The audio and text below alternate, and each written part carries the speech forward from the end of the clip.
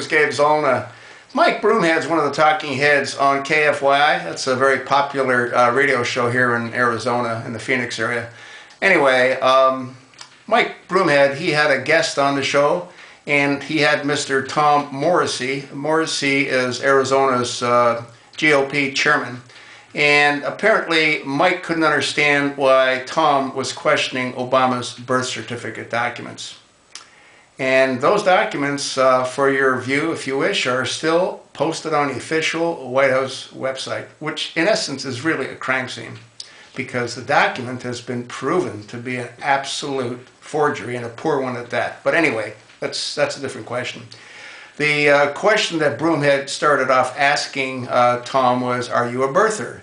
And Tom was quick enough to turn that around and uh, explain uh, as to uh, what is a birther. So after Mike uh, recovered from that, because he didn't expect that kind of response, uh, they went on to ask a couple of other questions. And one of the questions that he asked is, well, you know, would you be questioning anybody else's birth certificate other than Obama?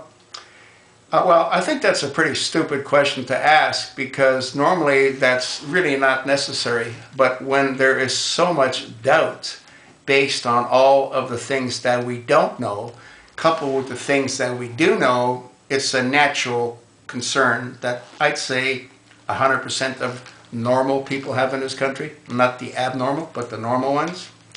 Mike, I don't know where you've been the last four and a half plus years, but you obviously haven't been here on this planet because if you would have been here on this planet, you wouldn't have asked that idiotic question.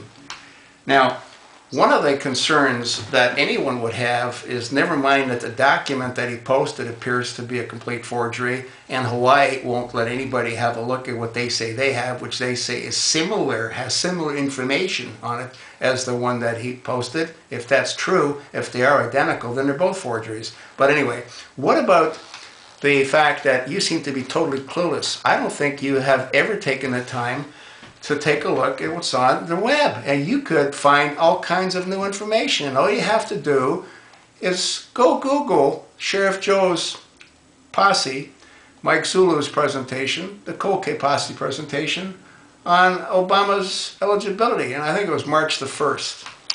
And it'll all become crystal clear to you, you see? And there's another follow-up press release. If that doesn't give you enough information, the second one will hopefully make it all crystal clear for you. There is so much doubt about this person, it's frightening. Never mind what he's doing to this country, which is also frightening, but we know nothing about his past. Elena Kagan, you know who she is. You might not know who she is, Mike. She is a Supreme Court justice that Obama elevated from being a simple attorney.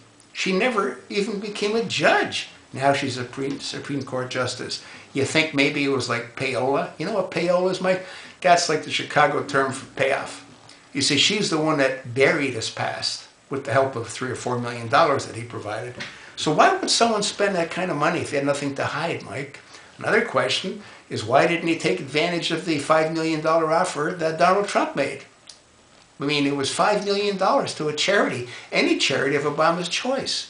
Why wouldn't he have accepted that, Mike? You ever think he's got a whole lot of reason not to accept that? Because if he did accept it, and if those documents were produced, you know what would happen to him? He'd be arrested for high treason. Because what they would show, Mike, is that he attended on a foreign exchange student. That's how he attended. And the passport that he used, guess what? That was from Indonesia. See, Mike, that's how he was able to travel to those parts of the world when travel to Pakistan was not allowed in 1980, yet he went there for a holiday. Now, Mike, come on, you're a smart guy. You made it from being what, a carpenter to a, or electrician to making a gazillion dollars being a talking head. Why don't you get yourself up to speed? All right? Why don't you do yourself a favor and do the American people, your viewers, a favor too by giving them information that's real.